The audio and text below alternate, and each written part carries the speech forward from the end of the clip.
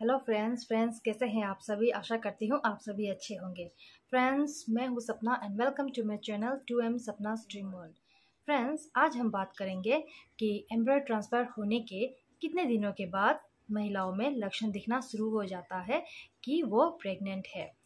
जब आप आई के लिए जाते हैं तो आपके मन में बहुत उत्सुक रहती है कि कहीं ये मेरा जो मैं आई के लिए जा रही हूँ, मैंने जो आई के लिए जो एम्ब्रॉय ट्रांसफ़र किए गए हैं, क्या वो सक्सेस होगा? ये आपके मन में, आपके दिल में हमेशा डर लगा रहता है कि क्या कहीं मेरा ये आई सक्सेस होगा। तो इसी विषय पे आज हम बात करते हैं कि जब एम्ब्रियो ट्रांसफ़र हो जाता है तो आपको क्या सिम्टम्स से पता चलता है कि आपने कंसीव कर ली है? आपका जो एम्ब्रियो ट्रांसफ़र हुआ है वो सक्सेसफुली हो गया है। तो फ्रेंड्स ये जो एम्ब्रियो ट्रांसफ़र होता है, इसके करीबन 12 या 15 दिन के बाद ही आपको पता चलता है आपका प्रेगनेंसी टेस्ट जब आप घर पे करते हैं, जब उसमें दो पिंक लाइन आते हैं, तभी आपको पता चलता है कि आप प्रेग्नेंट हो गए हैं या फिर आपको बीटा एस टेस्ट करने के बाद ही आपको पता चलता है। उसके नंबर के ऊपर ही पता चलता है। अगर आपका नंबर हंड्रेड से ऊपर आया, तभी आपको पता लग जाता है कि आपने कंसीव कर ली है, आपका जो आईबीएफ है, वो सक्सेसफुली हो गया है। तो फ्रेंड्स ये जो पंद्रह दिन का जो टाइम होता है ये बहुत टफ होता है उन महिलाओं के लिए जिनका एम्ब्रॉय ट्रांसफ़र हुआ है। उन महिलाओं के लिए ये पंद्रह दिन काटना बहुत कठिन हो जाता है क्योंकि उनके दिल में बहुत डर उत्सुक बना रहता है।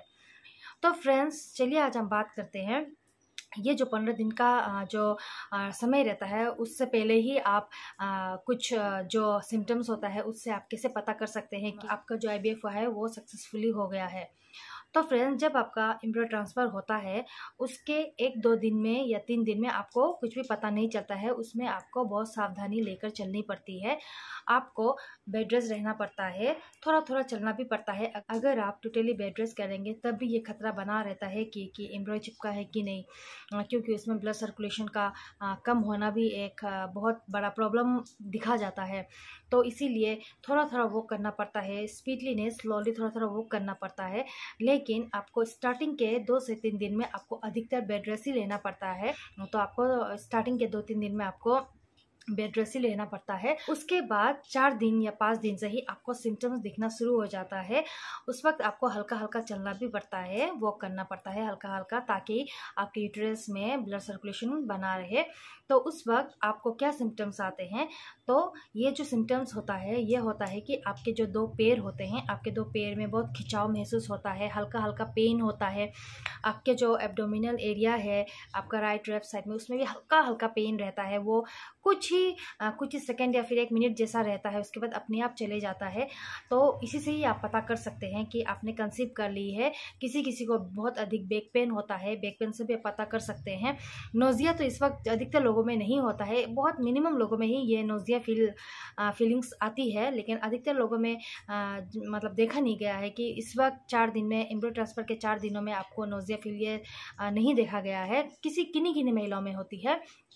और आपका जो, ये जो लेग का लेग का जो थाई एरिया होता है लेग का जो थाई एरिया होता है, वहाँ पे हल्का हल्का सा पेन होता है, उसमें खिंचाव खिंचाव होता है। तभी आपको एम्ब्रो ट्रांसफ़र के चार पाँच दिनों में ही आपको अगर ये सिम्टम्स दिखे तो आप समझ लीजिएगा कि आपने कंसीव कर ली है। उस वक्त आप हल्का हल्का सा वॉक कीजिएगा हल्का हल्का सा, ज़्यादा स्पीडली नहीं स्लोली स्लोली हल्का हल्का सा वॉक कीजिएगा। बेड रेस्ट भी ज़रूरी है उस वक्त। तो अगर आप, अगर आपको ये सब सिम्टम्स दिखे एम्ब्रो ट्रांसफ़र के चार पाँच दिनों में तभी आप समझ जाइएगा कि आपने कंसीव कर ली है। लेकिन लेकिन लेकिन फ्रेंड्स इसमें और एक बात है किन्हीं किन्हीं महिलाओं में बिल्कुल भी सिम्टम्स नहीं होता है। उनको सिम्टम्स के बिना ही वो कंसीव कर लेती है और किन्हीं किन्हीं महिलाओं में सिम्टम्स देखी गई है। लेकिन अगर आपका कोई सिम्टम्स नहीं है तो आप ऐसा मत समझिएगा कि आपने कंसीव नहीं की है, क्योंकि सिम्टम्स के बिना भी बहुत महिलाओं में प्रेगनेंसी देखा गया है और किन्हीं किन्हीं का सिम्टम्स के साथ प्रेगनेंसी देखा गया है। तो फ्रेंड्स अगर आपको कोई सिम्टम्स नहीं भी है तो भी आप घबराइएगा नहीं। आप बीटा एस के लिए वेट कीजिएगा बीटा एस टेस्ट के लिए वेट कीजिएगा। एम्ब्रॉयड ट्रांसफ़र के अगर आप दस दिन में भी अगर आप आ, ये होम टेस्ट करते हैं जैसे कि प्रेगनेंसी होम टेस्ट करते हैं तब भी आपको अगर हल्का सा पिंक लाइन आया तो भी तभी भी आप समझ जाइएगा कि आपने कंसीव कर ली है। और अगर आपने बीटा एस टेस्ट किया है वो हंड्रेड से ऊपर आया तभी भी आप समझ जाइएगा कि आपने कंसीव कर ली है। तो प्रेगनेंसी जो होता है वो एम्ब्रॉयड ट्रांसफ़र के चार पाँच दिनों के बाद ही पता चलता है और कंफर्म हो जाते हैं आप, दस से पंद्रह दिनों के अंदर आप कंफर्म हो जाते हैं कि आपने कंसीव की है कि नहीं। तो फ्रेंड्स यही थी मेरी आज की जानकारी। अगर मेरी आज की जानकारी आपको थोड़ी सी भी अच्छी लगी हो तो फ्रेंड्स मेरे चैनल को लाइक और सब्सक्राइब कर दीजिएगा। और हाँ फ्रेंड्स आपका प्यार बनाए रखिएगा। आपका प्यार और सपोर्ट के बिना मेरे चैनल ग्रो नहीं कर पाएँगे।